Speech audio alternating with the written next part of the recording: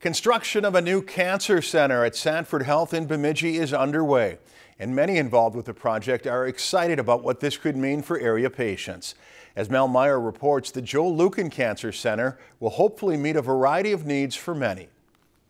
Hundreds came to the ceremony to catch a glimpse of the construction and make their own mark on it. Thanks to the vision, generosity, and leadership of each and every one of you here today, we're on the verge of taking cancer care to the next level. During the celebration, representatives from the healthcare provider underscored how the over 20,000 square foot center will expand upon the current offerings from first diagnosis to long term care. It's a little overwhelming to think about what it's going to do for people and their families. Among the new amenities, patients will soon be seen in 20 infusion suites and 15 exam rooms and get medication at an on site pharmacy. This facility will bring Sanford Bemidji's Cancer Center all under one roof. The medical provider hopes that staff will be able to provide better care with new radiation treatment methods and faster results from on site lab services. The tremendous amount of difference that this new cancer center will make to our our team of caregivers and most importantly to our patients. The Joseph and Janice Lueken Family Foundation provided a significant gift in order to create the $12 million building. Even though Joe passed away at 72 after battling cancer, his legacy will live on as the center bears his name.